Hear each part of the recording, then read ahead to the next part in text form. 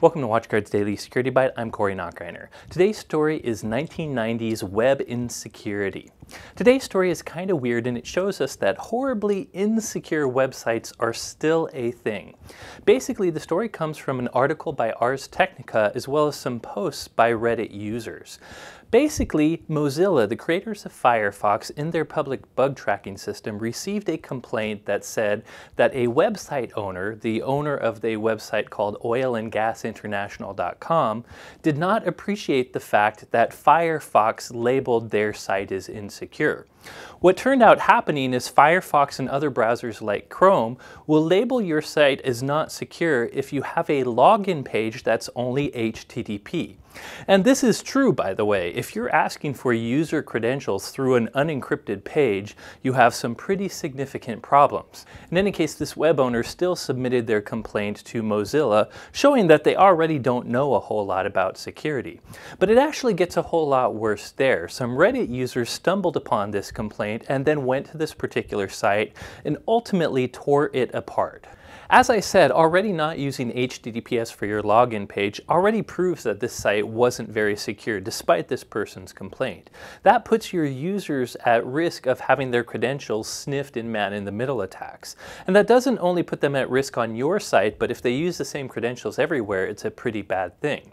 But these Reddit users started poking at the site and found a number of major issues. First of all, they used the classic SQL apostrophe in one of the login fields on this web page, and by the way, apostrophes are a reserved SQL character, and by trying them in these fields, you can see if the web developer was smart enough to actually escape certain reserved characters, among other things. What they found was first, they got a huge error. This particular web developer had verbose logging, which shared just about everything about the database behind this particular website. Worse yet, it looks like the SQL login is just a concatenated SQL query, meaning uh, the query is right there in the web page. By modifying some stuff in that particular login parameter, it was pretty easy for uh, these Reddit users and attackers to actually send any SQL command to this particular database, which it turns out they did. They also apparently found that uh, the passwords stored in this database weren't hashed at all, they were clear text, and apparently one of the Reddit users, obviously someone that's breaking the law, seem to have dropped the user table. The bad news is that anyone that uses this site probably can't access it right now, but the good news is if they did drop that table, it uh, protects these same users from having their passwords stolen by more malicious hackers. In any case, the Reddit users continue to tear apart this site. They found that the page that accepts credit cards is also over HTTP. That means credit cards could be transmitted in clear text, despite the site saying that it actually uses secure forms to transmit this data.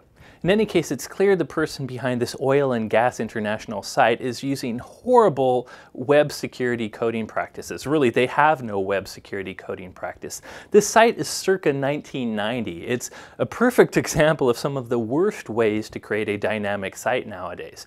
I'm actually pretty surprised about this. I've actually been showing some very basic cross-site scripting and SQL injection demos for a long time, just for an educational purpose. In fact, here's a video I posted in 2012 of one of these these demos.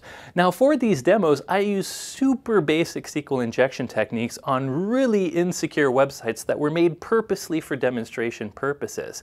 In fact, I showed the same technique you can use to hijack this particular site itself. Now I picked these very basic SQL injections because they're good ways for someone that doesn't understand SQL injection to learn. However, I'm somewhat embarrassed by showing this type of hack because many websites have since kind of evolved. Many uh, web developers, even ones that still make coding mistakes today, have kind of got past these login pages. A lot of people are at least using stored parameterized procedures. They're doing things like escaping certain things in their inputs and sanitizing their inputs a lot more. That's not to say SQL injection and cross-site scripting aren't still possible. They definitely are. But nowadays you have to use more tricks. You have to kind of find flaws much deeper in web applications or use certain obfuscation techniques to get SQL injection to work in, in places where there are security mechanisms trying to prevent them. Again, the moral of this story is to learn from this website and to avoid doing what it's doing. If there's any takeaway to this story, it was surprising for me to see a website out there that still uses these very, very bad practices. Hopefully, this is just one of the few out there, but if you are a web developer you have your own uh, commercial or even private website, you might want to look at some of the mistakes these type of developers are making and also look at the Reddit thread to see how these hackers actually found all these issues and question whether or not your website has any of them. Anyways, interesting story. That's it for today. Thanks for watching.